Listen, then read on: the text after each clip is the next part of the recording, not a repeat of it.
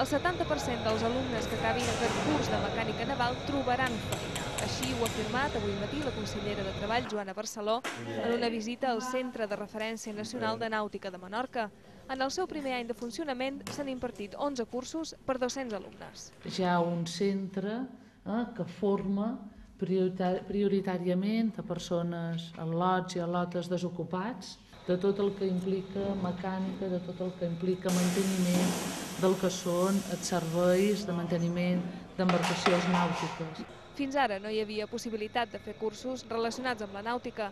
Per això el centre certificarà la professionalitat dels treballadors que no tenen formació reglada però que porten anys treballant. És un element fonamental perquè eh, ajuda a la visualització de la formació hm, i la mobilitat eh, de la gent. I això és un element que eh, començarà el centre de referència i serà l'únic a Espanya que farà això.